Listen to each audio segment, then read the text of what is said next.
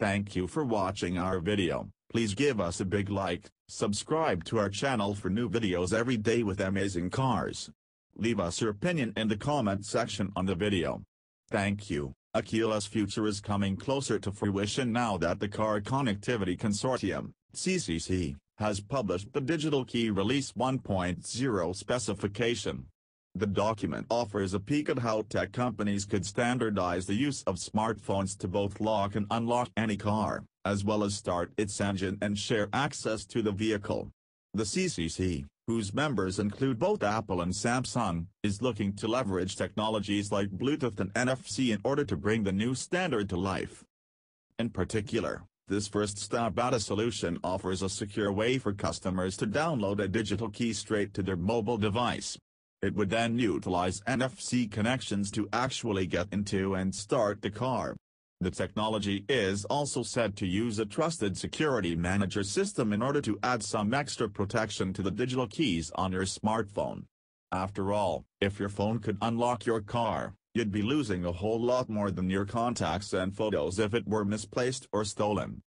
In addition to Apple and Samsung, the CCC also boasts a number of big-name car companies among its ranks, including Audi, BMW, General Motors, Hyundai, and Volkswagen. So if this specification were to be implemented, it would be likely that a large proportion of the cars on the road would soon have access to this smartphone entry system. Indeed, a number of car companies have already pledged that upcoming models of their automobiles will depend upon smartphones rather than physical keys, including Audi, Lincoln, Mercedes-Benz, Tesla, and Volvo. By standardizing a digital key solution that complies with our security standards we lay the building blocks for innovative services on a broad basis, said Dolf Warschat, head of body electronics at Audi. The CCC is now hard at work on Digital Key 2.0, which is slated to be released in 2019. It should offer a standardized authentication protocol for phones and cars, and ensure that various cars and smartphones are all compatible with one another.